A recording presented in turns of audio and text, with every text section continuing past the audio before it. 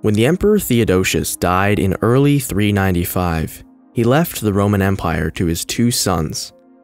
The older son, Arcadius, was to rule from the east and was already 18 when he took the throne. The younger son was to rule from the west. He was a boy, not yet 11 years old.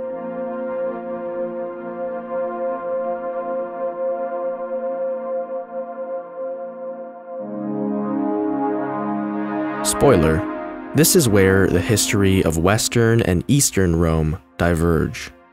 As you may know, the Eastern Roman Empire has another millennium of history ahead. The Western Roman Empire, on the other hand, has hardly 80 years. The remainder of my series on the emperors of Rome will be covering just those 80 years, though I will certainly visit Eastern Roman history in the future. Before we plunge into the final phase of Western Roman imperial history, we have to take a proper survey of what has changed for Rome in the last couple centuries. In order to appreciate the storms that are about to sweep over the Roman world, one must realize that this is not the Rome of Augustus. It is not the Rome of Marcus Aurelius. It is not the Rome of Diocletian, nor is it even the Rome of Constantine. This Rome is something entirely different. The defining characteristic of late Rome was economic decline. Ever since the beginning of the crisis of the 3rd century, Rome had been on a steady economic downturn. The volume of trade, both internal and external, was declining. Currency was debased, inflated, and practically worthless in many places. Material conditions were slowly deteriorating, mostly for the lower classes and particularly on the vulnerable frontier regions, which were frequently subjected to destructive raids. This economic decline had obvious effects on the strength of the Roman government. Taxes were harder to come by, meaning that training, supplying, equipping, and sustaining a standing army of hundreds of thousands of men became more and more impossible. While Rome's capacity to respond to threats was declining, those threats became more and more menacing. For centuries, the tribes on the Roman frontiers had been increasing in size, cohesion, and ambition. Confederations like the Franks and Alemanni were persistent dangers to the Roman border, and other peoples like the Goths and Vandals were pushing on the boundaries of the frontier day by day. Historians speculate that many of these Germanic tribes came from thousands of miles away, whether from Scandinavia or the Black Sea and beyond. Migratory pressures like climatic shifts and attacks from other tribes pushed these Germanic tribes west until they were running up against the Roman frontiers. The chief culprit responsible for these migratory pressures were the famous and terrible Huns. For these migrating tribes, the Huns represented death and destruction, while Rome represented a rich promised land where they could make safe, new homes. For centuries, Rome had been able to resist these pressures from external forces. Those days of Roman strength were long gone, replaced by eminent and obvious weaknesses in every corner of the Roman defense network. The day when the frontiers finally fall is not far. This was the Rome of 395, at least in the West. The East is a different story, and it is a story for another day. The West Rome of 395 was in terminal decline. Meanwhile, storms that had been brewing just beyond the horizon of the frontiers were finally ready to rage with all their terrible force. And positioned to face down these once in a millennium storms was a 10 year old boy named Honorius. Just to preface this a bit more, the three decade reign of Honorius is defined more by what he did not do than by what he did do. Rome is now entering an era where foreign generals act as the real leaders of the Roman military and government, making the emperors into figureheads. Honorius's general was a man named Stilicho, who was of half Vandal descent. When Honorius was a boy, Stilicho was in control of the court. In 395, shortly after the death of Theodosius, a group of Roman allied Goths began raiding the Roman countryside in the Balkans. This group of Goths was led by Alaric and was the same group that had fought for Theodosius the year earlier at the Battle of the Frigidus. They were pissed off that the Romans had mistreated them on the battlefield, and they broke the terms of their treaty with Rome by attacking towns and civilians. Stilicho could not accept this and marched out from Italy with the army from the Frigidus to face Alaric. In this first campaign, Alaric was outmaneuvered in the hills and was surrounded by Stilicho's larger army. In order to avoid being crushed and destroyed, Alaric negotiated and stalled for time, which proved crucial. In pursuing Alaric, Stilicho had entered the territory of Arcadius in the Eastern Empire, and the court officials of the East were not happy. They ordered Stilicho to leave immediately, which he reluctantly did. Alaric and his Goths were thus left alone. This would prove to be a horrible mistake.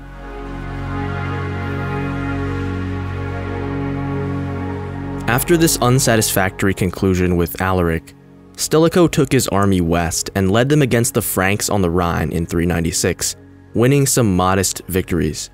He also secured agreements with the Franks and Alemanni, recruiting them for the defense of the Rhine River. The next year, he tried his luck with Alaric again, but was again unable to capture the rogue king before further complaints and threats from the Eastern Court. The Eastern Court was actually frightened that Stilicho was trying to take their territory, when in reality he was simply trying to defend the empire.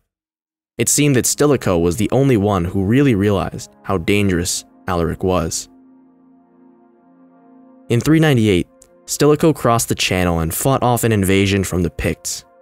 This was the last time that an Imperial Roman army set foot on British soil. Three years later, in 401, Stilicho was responding to an invasion of Roman territory beyond the Alps. Alaric, who had reassembled a sizable army, saw an opportunity and bypassed Stilicho's army, slipping into Italy through the Alps and besieging Milan, where Honorius was residing with his court. As soon as he received word, Stilicho ended his campaign and marched down to Milan as fast as possible, relieving the siege. He then attacked the Goths on Easter of 402 at the Battle of Pollentia, winning a decisive victory. Again, he failed to capture Alaric, but it was not for lack of trying. After negotiations, however, Stilicho appears to have changed his mind about Alaric, instead trying to recruit him again as a defender of the empire and sending him with official blessings to occupy Illyria. After the close call in Milan, Stilicho also advised Honorius to move his court to Ravenna, which was pretty much impossible to capture by siege due to its position within a ring of swamps. Honorius took this advice, hiding himself away from the rest of his empire. In 405, Stilicho was faced with another massive invasion, this one from a Gothic king named Radagaisus, who crossed the Danube with a large Confederation army. Reportedly, Stilicho had to resort to desperate measures to assemble even an army of 20,000 soldiers for this campaign, enrolling thousands of slaves with little to no military training. This was how bad things had gotten for Rome. Through a series of clever tricks, Stilicho managed to outmaneuver and destroy the army of Radagaisus in 406. He executed Radagaisus himself and captured many of the Goths, forcing them into Roman service. Stilicho was riding high at the end of 406. One can imagine him having a lively Christmas celebration with Honorius, who was just celebrating his 22nd birthday. But maybe they should have waited a little bit longer. The same night Stilicho was getting drunk and celebrating the new year, a massive confederation of German tribes was crossing the frozen Rhine River into Roman Gaul. This was an unprecedented breach of the Roman frontier, and it stunningly took place with no resistance whatsoever. On New Year's Day of 407, there were tens of thousands of Germans in Gaul, mostly Vandals, Alans, Burgundians, and Suebi, aiming to raid and pillage the rich Roman province. It's unclear why there was so little resistance to this crossing. Some speculate that the Franks, who had been contracted to protect the Rhine, just decided it was in their better interests to not oppose the raiders.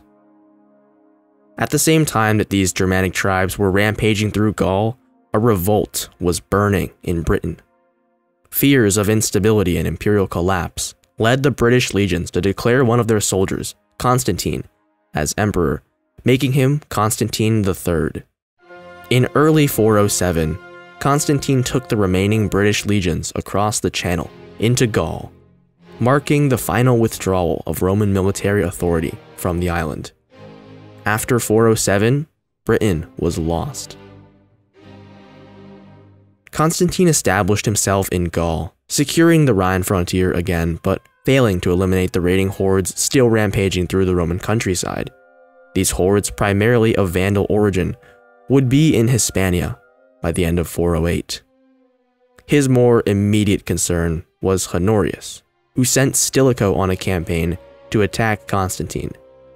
Throughout 407 and 408, these campaigns were inconclusive, only serving to distract Roman power from the real problems.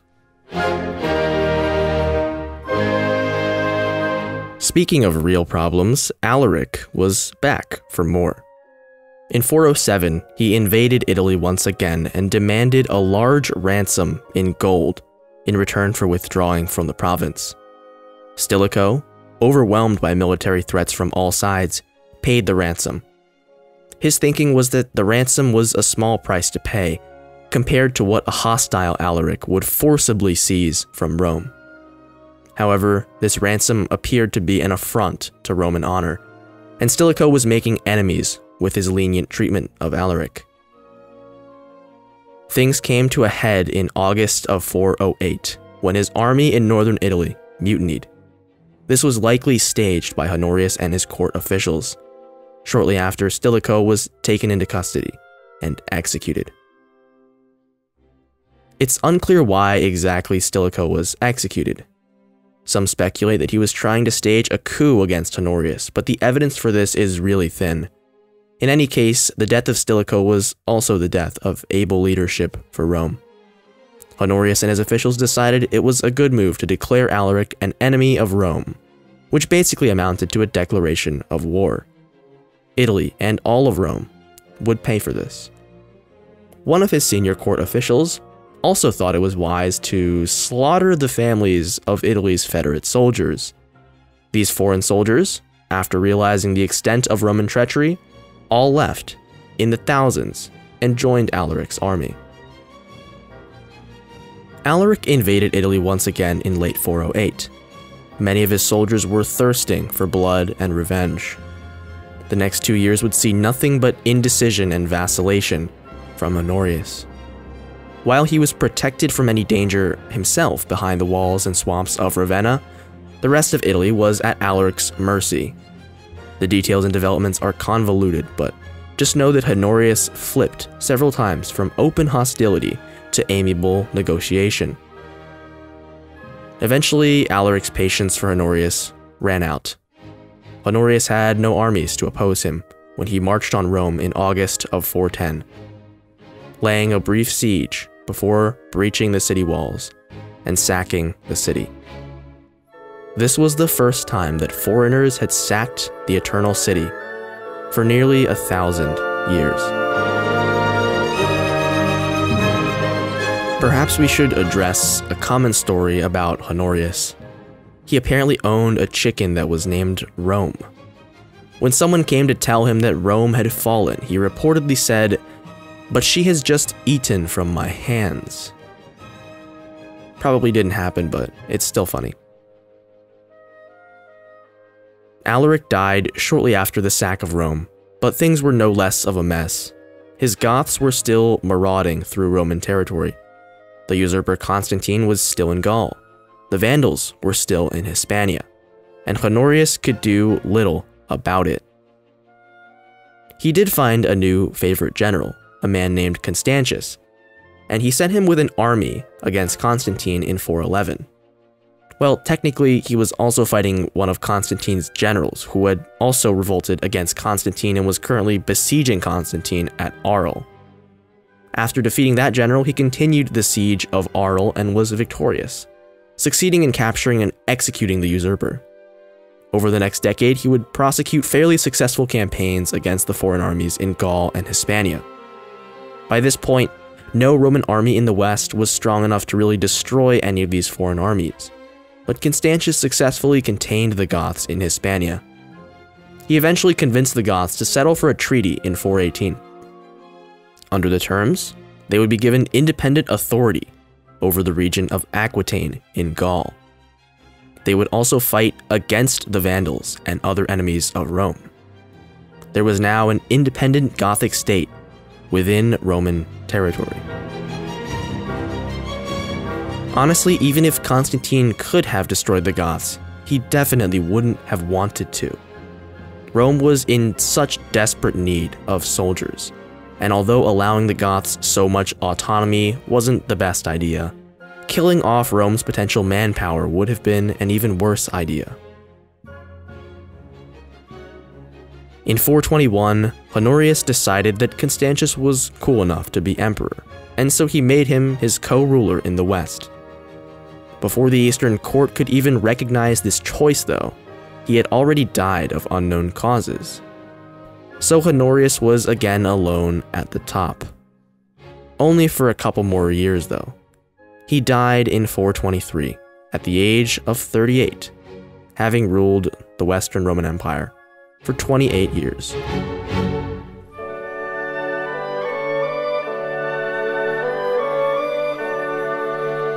The story of the reign of Honorius has suspiciously little to do with Honorius himself.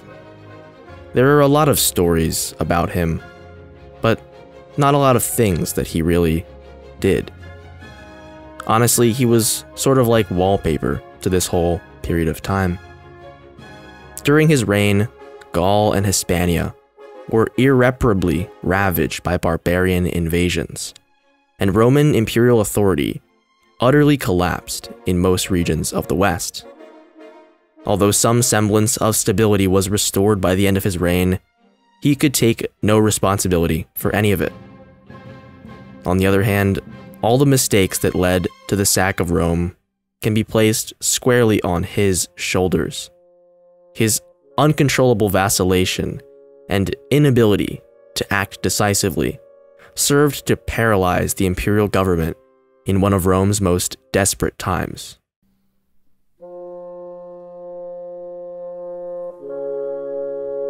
Honorius is gone, but these desperate times are not. The first waves of the storm have passed, and Rome is still surviving. But future storms will make this episode seem like a pleasant rain shower. The worst is yet to come.